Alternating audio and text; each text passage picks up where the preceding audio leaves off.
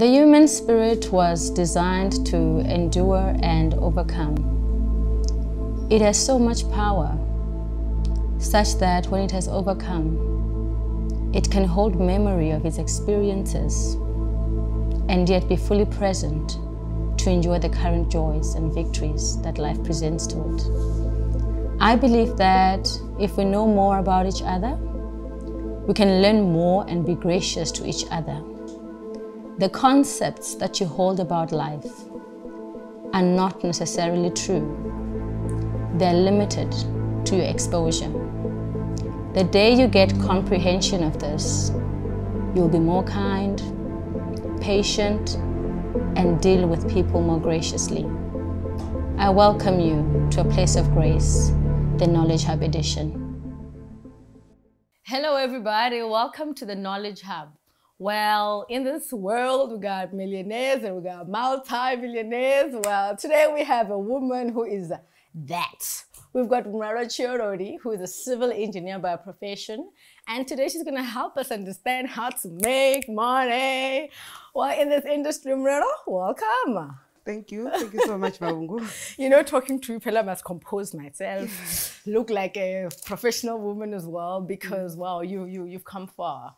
Yes you know, when someone hears that uh, is uh, this big shot in the industry, it's quite difficult to can see oneself where you are because it feels like, ah, maybe she was born like that. Maybe perhaps so that we are all on the same ground. Take us to how you were brought up, where you grew up, just so we understand if it was humble beginnings. Okay, thank you. Um, I grew up from, um, from a village uh, called Murenje mm. outside uh, Thohoyandou in Limpopo province. So um, I, am the last born actually uh, oh. from my mother, my late mother okay. and my late father. we are two boys, two girls and uh, two boys. So um, I went to my primary school in the in Murenje and okay. my high school as well uh, at the same village. Basically, I think I was one of the of the top stu students. So you were forever matric. bright. You were forever bright. Yes, in matric. Mm. Um, I was one of those kids who are like, uh, you know what, if I don't take position number one, oh, it's, a, it's a big deal for me. So from, I don't know, grade, uh, from standard one, actually, mm. until matric, wow. I used to just be on position number one. Wow. Yes. But looking at where you're coming from, mm. I want to quickly rush to your tertiary education. Mm. From Murenje is your high school, right? Murenje, it's a village, and then uh, there's Murenje Primary School, yes. there's Mobe uh, High School. So mm. I did my primary and my high school in Murenje. Oh, in wow. the village. So, yes. but uh, when you went to varsity, which mm. institution did you go to? I went to University of Johannesburg. It was then a Technikon with Witwatersrand. Okay. That's when now I, I enrolled for civil engineering. Mm. Uh, I did my uh, national diploma and then I did my degree. And then that's when my, my, my career started. Were you bright as well when you got to varsity or you struggled? I never struggled. I think, um, okay, I passed and I finished within the record time. Well, so, still with flying marks. Like, you know, Apella must tell the truth. I, I, I think I got in mm. just through understanding. And I, I don't think I'm that bright in academic. I think I, I can understand all kinds of subjects. Uh, so the finishing, I just finished. There was mm. no brightness on my academic record. Okay. So when you finished your UJ studies, mm. you are doing your practicals and stuff. Take us through the journey of your how you got from UJ doing your pracs into corporate and then into business. Okay. I started my internship uh, at a company called BT Mongo and Associates. It was a 100% uh, black-owned company. Mm. We're doing a consulting work. Okay. So it was consulting in um, everything in engineering, civil and building works. Okay. So um, I did that for a year. After that, I was employed uh, full time. I was heading a design uh, office. Like, uh, like your career is just flowing. like there's no break here. I was heading the design office after just um, finishing my internship. Mm. Yeah, I think the company saw potential in me. So I did um, a road stormwater, sewer and water. And then we did the water towers, outfall sewers. Uh, I did a lot of buildings as well in the design office. Mm. So I was heading that department. after two years of my service, I was then promoted to be a director of the company. Amen. Yes. You know, two uh, years of working. And then I was, that's when I was, I got exposed in the management now. And I interact with, uh, with the clients. I had to ensure that uh, the company is running, the cash flow is coming in, you know. Uh, uh, so I was exposed. how old are you at that stage? I was um, 24. Yes, I was 24 years when I was promoted to be a director. Wow. And then you're a director in, in that company. Company, yes. And then what happens after that? After that company, and then I decided, let me go on my own because I used to do a lot of uh, freelancing work. After after after hours, I would do design work for different companies, uh, just for my skill. But did you find that when you had to um, start your own company, did Mm. you have to do it first as a side hustle for Mm. you to gather clients and capital? Or it was just, I'm jumping because I'm confident? Obviously, like I said, I used to do a lot of free- freelancing work. Mm. So with that, I'll get at least uh, something on the side to build, uh, you know, the book value on the other side. Yes. And then since I was exposed to to different clients, uh, because I was the director, I used to do marketing as well for the Yes. company. So it was not difficult not at difficult, all. yes. So the transition was smooth uh, for me. So when I went on my own, things were easy. Like it was a It's- running it machine. was a running Yeah. machine. It was there already. Oh, so it was not difficult. So, have you had difficulties in your career? Not really. To be honest with you, not really. You are I don't remember having like, difficulties. Really, you are. I think you're one of the finest civil engineers that have a career that just blossomed and they understand the benefits of being an engineer. What are some of the projects that you've had to work with in terms uh, of size? I want to know the, the, the types of projects and the sizes of the projects that you've been working on. Currently or in the past? Uh, both. Okay. I'll start with this uh, difficult project that I'm doing at the moment. Oh, wow. It's um, a mixed-use development in uh, north of Pretoria. Okay. It's a it's it's a it's a project called Twain. okay. Um, it's an integrated human settlement. It's a concept of a smart city. Oh. That's where like uh, residents they need to stay there, they need to work, Mm. and they also need to play. okay. So we are housing around uh, close to 13,000 uh, households um, in that uh, development. So on the other portion, we've got AgriCity. AgriCity is a new concept altogether. Okay. So this project uh, has been challenging because of the funding. The fund, there's different funding models Yes. because it's a long-term uh, project. I can tell you if uh, I can just calculate, but it was two years ago when we did the estimates, it comes to close to 3.2 billion. Wait, Nana, I'm Yes. So at this You know? moment, we are just doing uh, the planning of the of, of the township. That's when now you start with the town planners. You come with the engineers. You do design of services, Mm. and then you do the houses. Yes. Then later on, you come in with your schools. You come in with your office parks. You come in with your retail as well Wow. and then you do your agri portion. So that project has been exciting, but it's challenging because we need funding, and the funding is not easy. When you say government. Mm. you need funding, does that mean that this project was initiated by you guys? It's not you responding to a client's needs. we um, responded to a to to to, to a tender to a proposal Yes. uh, that was called by Human Settlement. Okay. uh, they called developers to Mm. give proposals in terms of uh, uh, the land that they need to develop for this concept. Mm. So basically, it's a it's a partnership.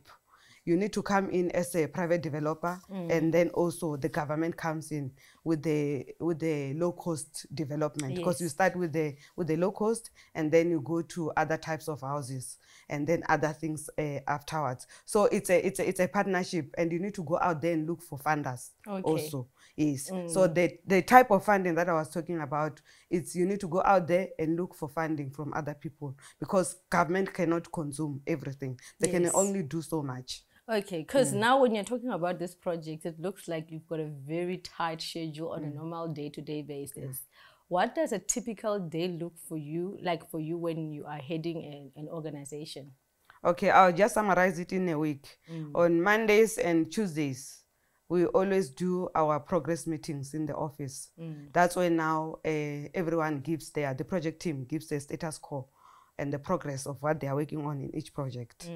And then you plan for, for, for the week. That's Monday and Tuesday. So my day, like those two days are very hectic for me. Then Wednesday, that's when now I, I, I tend to do my office work. That's when I start responding to emails, making sure that uh, there's invoices, making sure that there's payments to be done, you know, just to do the general uh, CEO duty mm. on Wednesday. Thursday and Friday, I do outside meetings because in this industry, you need to be relevant. Mm. You need to be aligned every time because mm. things are changing. Mm. So I do my outside meetings on Thursdays and Fridays, meeting my clients, making sure that, uh, you know what, I keep that relationship and mm. also uh, establishing new relationships. Mm. So, and then it's a weekend. Oh, like you you practically don't rest during the week. It's that busy. It's hectic during mm. the week. But you know, uh, when a person is hearing you, uh, in fact, I think I deprived people. I didn't even ask the name of your organization, and here I am assuming everybody knows. What's the name of your company? Um, uh, it's Makore Group. Mm. Makore Group, it's a, it's, a, it's a group of companies. Yes. So my division, basically, I'm a CEO of a property development. Yes. I'm a CEO of a consulting, which is a MDP consulting. Okay. Yes. Do you find that as a woman mm. in a male-dominated industry, you are disrespected in certain areas or your knowledge and experience just gains you a free pass in, in those platforms? To be honest, the society, as you know, and the stereotype, they tend to doubt a leadership as a woman. Yes. You understand? So, and I think uh, with my experience, I've, I've seen that uh, for women to fit in, they try to develop this male attitude mm. in business, you know, to be commanding, to be aggressive, you know, and so that they can fit in. Mm. But with me, as a woman CEO, I've learned to be true to myself and mm. uh, you know what, I think listening to my good, own voice. I think it's just good. Yes. You are so certain about your design mm. skills, you're certain about your qualifications. Mm. It just makes you understand that you're not here because of some equity issues. Yes. You are here because you, you care. Yes. Yeah, because mm. I studied what I'm doing and I'm a woman. I'm also a professional registered. Mm. So you tick all the boxes. Yes. Yes. And then what what has that uh, PR number, the professional registration number, done for you? Like, I am an engineer, I'm not mm. registered. I'm trying to speak to women mm. who are not registered that might be inspired from your story. What, what opportunities has it availed for you? Firstly, for you to run a consulting companies, it's mm. a, a, in most of the clients nowadays, it's a requirement mm. that as a director or as a, as a, as a CEO, you need to be registered yes. with the Engineering Council of South Africa. Yeah. Yes, in most of the clients now, it's a requirement. True. So with that only, mm. you've got um, you are a woman, you mm. tick a box. Now you've got experience. It's mm. another it's another box. And now you are professionally registered in mm. a male-dominated field. Yes. And you know, looking at the at the at the at the, at the numbers, there's discrepancies versus men and women who are like uh, professionally registered. Yes. So you stand a good chance. True. So for true. me, you get a best preference. So it has worked for me, to be honest with you, because uh, I always get uh, first preferences as a woman mm. and end up getting more jobs because of that. And talking about mm. jobs, during now the COVID period, how did COVID affect you guys as an organization? Honestly, with you, um, I'll first say most of the companies has, uh, has gone under, mm. construction companies. You can check the big five construction companies, most of them, they are gone. Mm. But with our business, we've, we always manage to to keep afloat. Mm. Uh, we plan. We don't just plan for now. Mm. We plan for for long term. Mm. We plan for the next three years. Mm. For in case if there's no project. Yes. Uh, what's going to happen to our company? Mm. The company must be stable. Uh, people must get paid. You understand? Mm. And with um, the type of the business that we're doing, because we do both construction and consulting. You are just raking it. Like, I just smell money. no, it's not that But I'm saying both businesses, at least they, they, they support each other. Yes. Because the other one is more on the time based. Mm. You sell your time. You don't yes. have to have capital mm. to, to, is, to, to yeah. do a project. I Mm. just go and consult and I get my money. Yes. But on the other side, you need uh, funding. So if Mm. the other one is not doing well, you can always say support Oh, okay. the other business. Yeah. But in terms of um, the, the, the, the crisis that we are facing, which is the pandemic, COVID-19, Mm. uh, we managed to, to pull through. Yes. We were not affected at all because we always plan ahead. Okay, that's very good. And then I know, Mulalo, you've been a millionaire for a long time. I'm so curious. I'm not sure about that. I'm not sure I'm so you get it curious. no, no, you can't even drag this. When did you become a millionaire? Don't don't don't play humble here on us. It's okay to be. A, I mean, I'm a thousandaire. I mean, it's okay to be a millionaire. okay, I will say personally, uh, I think I was at the age of at, at the age of 25. Amen. I already tested the million. You know, I don't even know where I was. at the age of 25. Uh, it's a long time. So yeah, like I said, I've been doing hustling since um, early stages of my career.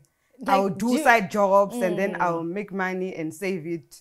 You know, even before I went to corporate, like I could accumulate some few. Like, does money still surprise you? Like when, ish, lama zero angina, and there are just so many of them. you know, to be honest with you, we have to keep the business running. Mm. So when Ah. it comes, the business must run, and uh, you don't get excited about uh, numbers in your in mm. your in your in your account. Yes. Yes. Yeah, true. I think So- that is important to ensure, like, mm. separating yourself Yes. from the business Yeah. money because you might think, Yes. hey, you've got multis and multis of it. We separate that a Yeah. lot. Mm. Business is business, personal is personal, because you always say, you know what, you always think about a gardener who's working for you, Mm. from the gardener. Uh, to senior engineers or sen- to managers, Mm. how many families you are feeding? Yes. Yes, you understand. So Mm. it's not even about you as a person. It's about making impact. Yes. Yeah. But do you find that as a woman heading such a big organization, that the people, the men that you're leading, who are also professional engineers, Mm. do they give you the respect that is due to you, or you you have a lot of HR cases because nobody nobody listens?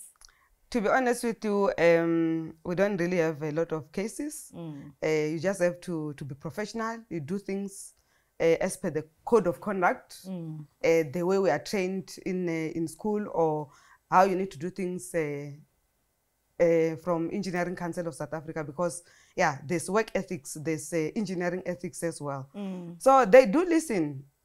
They do listen, despite I'm a woman. Yes. Yeah, I, I, I didn't have issues with respect at all. Okay, which is a Mm. good thing. But what, there's something that I've observed from industry operators Mm. that there's so much corruption Mm. in both the consultancy field and the construction field. Mm. How do you manage to maneuver as an organization? Uh, our organization it's anti anti corrupt. Uh, we don't promote uh, corruption at all. Yes. We do things, um, you know, as per the book. yeah. You understand? We follow all the the processes for you to get the job. We've got a QMS system in house.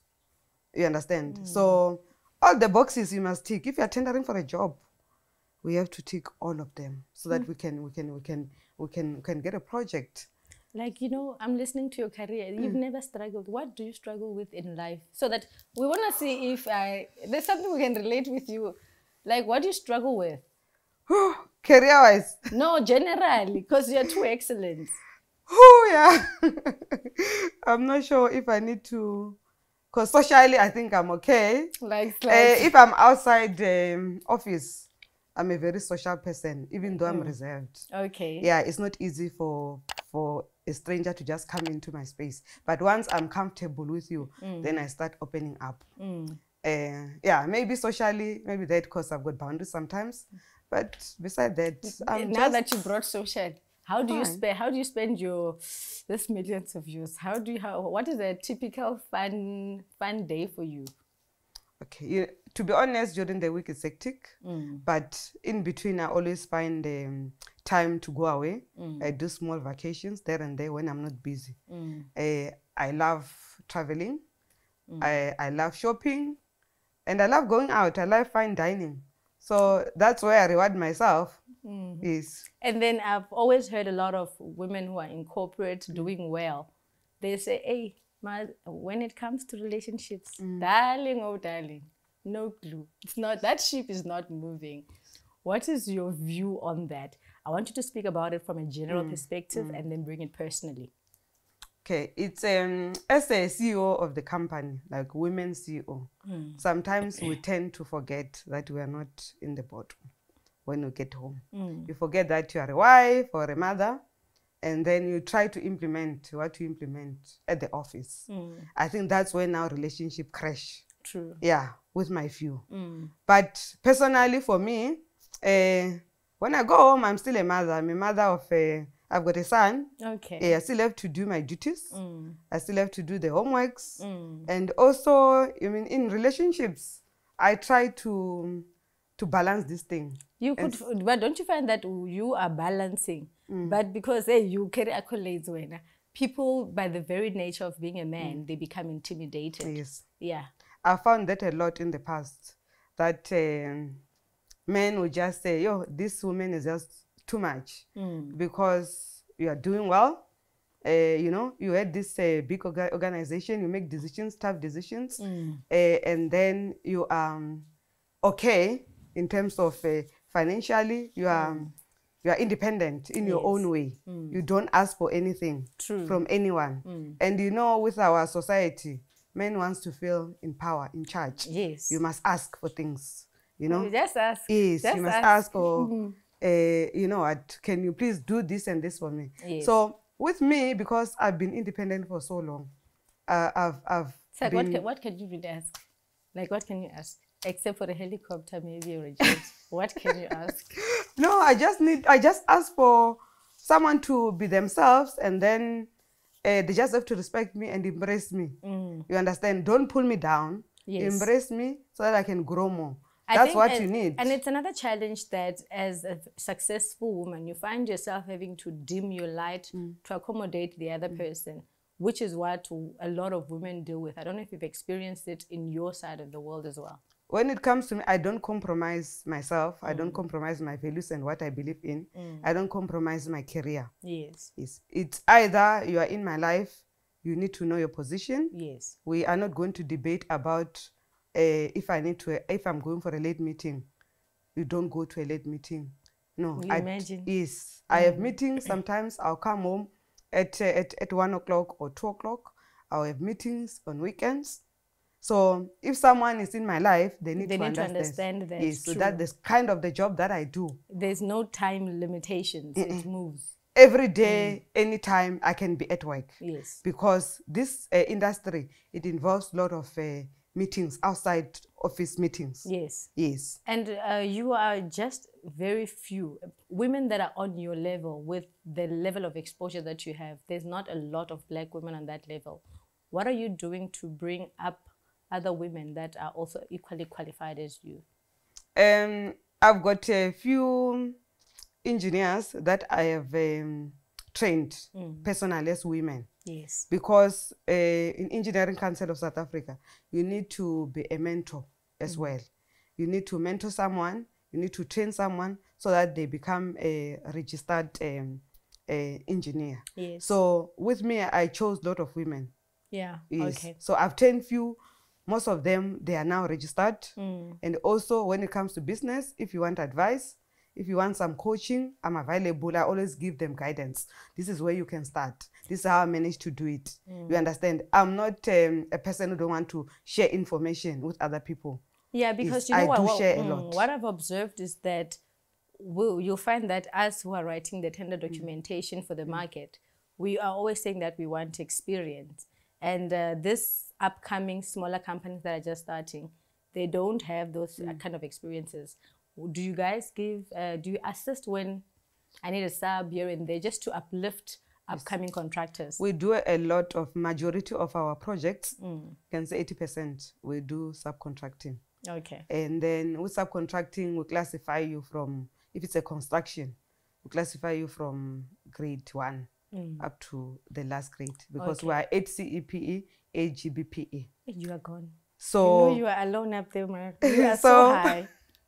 what we do is we classify them and we allocate work based on uh, on your skill and based on on if you are a starter. Okay, Mm. obviously we need to allocate what is uh, right for you. Yes. But with with time you grow and then you can upgrade your CIDB and then eventually you can be eight one day like True. us. Mm. Yes. So we've got programs in place in the company like I said, we do a lot of subcontracting and we give opportunities to women or Mm. or youth or even men. We give them opportunity. Okay. And then how do you create a work life balance? Uh, with that, obviously, I've got uh, responsibility for both Mm. the business and the personal or family. Mm. So you need to devote time uh, to both because it's crucial Mm. so that you can create a work-life balance. So I do a lot of, I spend a lot of time with my family on weekends, Okay. um, uh, with my sister, with my other people in the family, cousins. Mm. Uh, we always come together so that we can catch up. And also, I spend a lot of time with my son. Okay. We go out. So I got that uh, work-life balance, Mm. kind of a life. I'm not just a CEO of the company. Oh no, yeah, you just I don't go home and, and, work, and be a normal work. a, Mm. normal woman. Okay. I do that a lot. okay, we need to be closing. We are we're out of time. Okay. What is your greatest fear? Okay. My greatest fear, it was uh, during um, this pandemic. Actually, Mm-hmm. uh, it was last year because we couldn't predict how long the the the, the lockdown will be. Mm. Like I said previously, we try to keep our business afloat Mm. because you feed so many so many families. Yes. So that was my fear. Mm. But from now on, I think the the, the worst is over. True. We are fine. It's, You so really are. You really are. I think the worst is over. yeah, the worst is over. Yeah. So to be honest with you, I'm not fearing anything. And My then worst fear was last year. And then from your successful career journey, which is the moment that you are going to rate as this was the best thing that I've experienced while working as a civil engineer? Uh, the best thing that I've experienced, it's um, okay, developing concepts into reality. Mm. Because I've been involved in projects where uh, it's greenfield, there's nothing, it's Yes. grass. Mm. and then seeing um, someone taking their house, giving them a key, Mm. they go and unlock that house. Yes. And I'm involved and it's my product. Mm. Yes. I feel so fulfilled. Okay, no, that's good. Can you please encourage women? There are a lot of women that um, they that they're dependent on their husbands or just their partners for income, or they're aspiring to do the things that you're doing, but they kind of feel out of reach. What can you say to us, just so that maybe we can feel that if Mulalo could do it, I possibly can if I can just uh, decide to do it as well. The sky is the limit. Um, go for what you believe in. Like I said, the, the road to success is paved by losses, by mistakes, you know, by disappointments. But eventually it leads you to where you are going. As long as you are focusing on the ultimate uh, des- destination. True. So everything is possible. It's just, it starts with you. Believe in yourself. If I can do it, somebody else can do it. True. Considering you also come from Murenje. I mean, come from a humble beginnings, like mm. from a village, from the deep rural village. But now here I am. And then what does the future look like for Mulalo in closing? Uh, the future looks bright. Too bright. The future looks too bright. you know, with our model in the company, if uh, we always try to venture into other things, we've got another department, which is the mining department. You understand? Can I just be your bag? Like So that's why I'm saying um, there's nothing that can stop us. Mm. Yes, we always plan for the worst to say if construction and consulting, uh, you know, something happens, yes. what is next? Mm. Yes. Oh wow.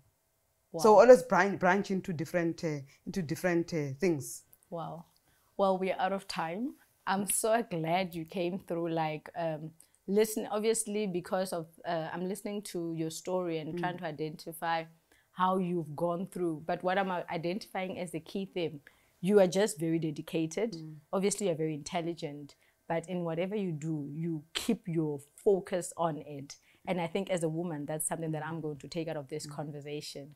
And I wish you all the best for your journey. Thank you so much. Thank you for coming. Okay, thanks for having me. Well, I hope you guys at home are going to study first. Then you're going to apply and venture into your dreams. And we're going to see you fly as well. I hope you enjoyed the show. We'll see you next time. Bye.